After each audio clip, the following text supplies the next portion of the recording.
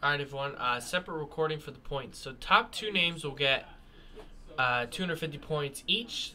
Third on the random will get 150 points. So let's roll the dice, and we'll go eight times. Good luck, everybody. Eight times. One, two, three, four, five, six, seven, and eight. So Eric, you got 250 points. Michael, you got 250 points, and Adam, you got 150 points. So there you go. Congrats, guys. Thanks everyone again for joining. Um, check out the separate video. We'll have a separate recap video. I know this was a pretty long break. So thanks everybody.